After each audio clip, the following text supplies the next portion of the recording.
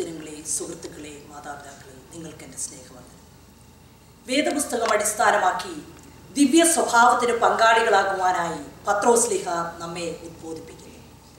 A D അറുപത്തിയാറിനും അറുപത്തിയെട്ടിനും ഇടയ്ക്ക് ഈ ലേഖനം എഴുതിയിരിക്കുവാനാണ് കൂടുതൽ സാധ്യത.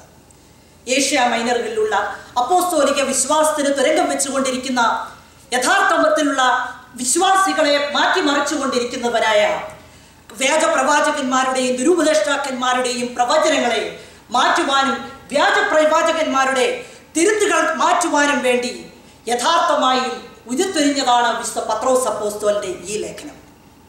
ദൈവവിളിയും തെരഞ്ഞെടുപ്പും മുഖാന്തരമുള്ള അനുഭവങ്ങളും ക്രിസ്തീയ പ്രത്യാശയുടെ അടിസ്ഥാനവും ഇതിന്റെ പ്രതിപാദ്യ വിഷയങ്ങളത്രേ. ഓരോ ക്രിസ്ത്യാനിയും അവർ തിരഞ്ഞെടുക്കപ്പെട്ട ദിവ്യ ജീവിതത്തിന് വേണ്ടി സമർപ്പിക്കപ്പെട്ടിട്ടുള്ളവരാണ്. ക്രിസ്ത്യാനിയുടെ ജീവിതം. പ്രശ്നങ്ങളും പ്രതിസന്ധികളും നിറഞ്ഞതാണോ എങ്കിലും അതിൽ നിന്നൊക്കെയും അതിനെ അതിജീവിക്കുവാനുള്ള കഴിവ് നമുക്ക് ഓരോരുത്തർക്കും സ്വായത്തമാക്കി തീരേണ്ടതാണ്. ഓരോ ക്രിസ്ത്യാനിയും എത്തിച്ചേരപ്പെടേണ്ട ഉന്നത പദവിയെക്കുറിച്ചും ചൂണ്ടിക്കാണിക്കുന്നു. രണ്ട് പത്രവും ഒന്നിന്റെ നാലിൽ അതല്ലോ ഇന്നത്തെ നമ്മുടെ ചിന്താവിഷയം. ദിവ്യ സ്വഭാവത്തിന് പങ്കാളികളായി തീരുക ഇതേ ആശയം തന്നെ വിശുദ്ധ യോഹന്നാന്റെ സുവിശേഷം ഒന്നാം അധ്യായം പന്ത്രണ്ടാം വാക്യത്തിൽ വേറൊരു വർണിച്ചിരിക്കുന്നു. അവനെ കൈക്കൊണ്ട് അവനിൽ വിശ്വസിക്കുന്ന ഏവനും അവൻ ദൈവമക്കളാകുവാൻ അധികാരം കൊടുത്തു. ദൈവ സ്വഭാവം നമ്മളിൽ ഉണ്ടാകുക അഥവാ ഉണ്ടാക്കുക അത്ര എളുപ്പമുള്ള കാര്യമല്ല. കാരണം നാം പാപത്തിന് അടിമപ്പെട്ടവരാണ്.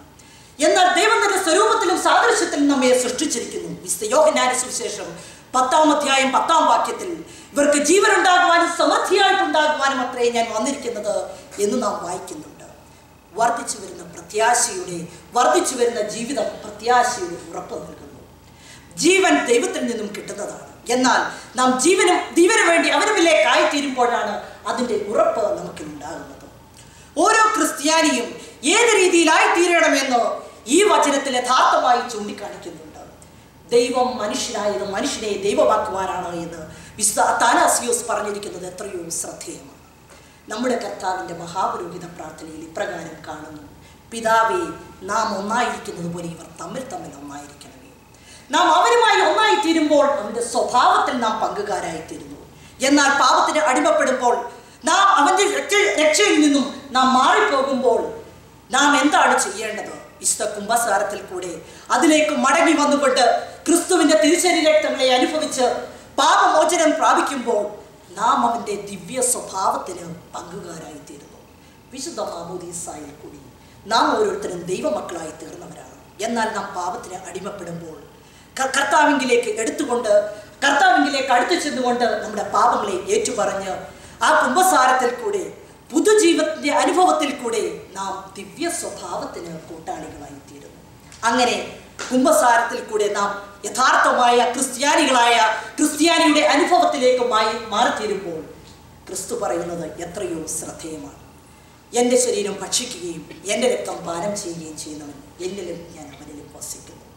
അങ്ങനെ പുതുക്കത്തിന്റെ അനുഭവത്തിൽ കൂടെ നാം മാറുമ്പോൾ യഥാർത്ഥമായ അനുഭവത്തിലേക്ക് യഥാർത്ഥമായ ക്രിസ്ത്യാനിയുടെ അനുഭവത്തിലേക്ക് നാം ആയിത്തീരുന്നു. വിശ്വാസത്തിൽ കൂടെ കടന്നു പോകുന്നു സത്യത്തിന്റെ ഫലങ്ങളായ നീതിയിലും വിശുദ്ധിയിലും ദൈവത്തിന് അനുരൂപമായി സൃഷ്ടിക്കപ്പെട്ട പുതുമനുഷ്യനെ ധരിച്ചുകൊള്ളുവീനെന്ന് എഫേസ്യർ നാലിന്റെ ഇരുപത്തിനാലിൽ നാം കാണുന്നുണ്ട്. വിശുദ്ധ വേദപുസ്തകം ഉടനീളം പരിശോധിക്കുകയാണ് എങ്കിൽ നീതിയായും വിശുദ്ധിയായും ജീവിക്കുന്നതിന് ആവശ്യമായ അമൂല്യമായതും അതിമഹത്തായതുമായ വാക്തത്വങ്ങൾ ദൈവം നമുക്ക് നൽകിയിട്ടുണ്ട് എന്ന് കാണുവാൻ സാധിക്കും. ഞാൻ നിങ്ങൾക്ക് പിതാവായിരിക്കുമെന്നും നിങ്ങൾ എനിക്ക് പുത്രന്മാരായിരിക്കുമെന്നും പുറപ്പാട് പുസ്തകം നാലിന്റെ ഇരുപത്തഞ്ചിലും എഫ് എസ് ആർ നാലിന്റെ ഇരുപത്തിയാറിലും നാം കാണുന്നുണ്ട്.